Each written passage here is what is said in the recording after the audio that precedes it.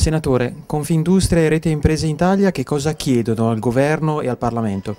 Ma chiedono subito, subito, senza più deroghe, un intervento che liberi le risorse, in particolar modo i debiti che la pubblica amministrazione ha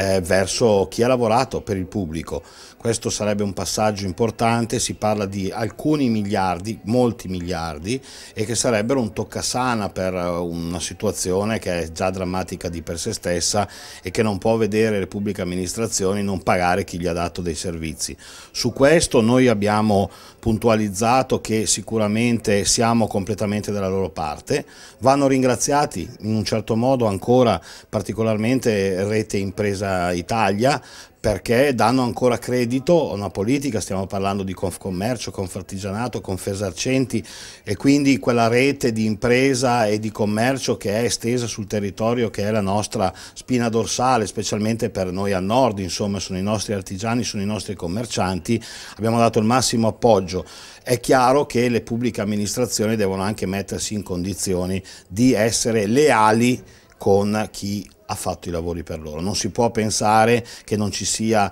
ancora la totalità, anzi purtroppo il contrario, di certificazione del credito.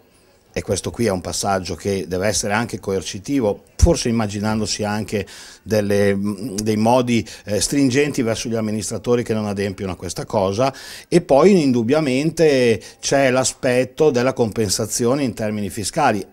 Resta sottinteso che l'elemento di compensazione fra il dare e avere a livello fiscale è in subordine rispetto alla liquidazione dei soldi che le aziende aspettano.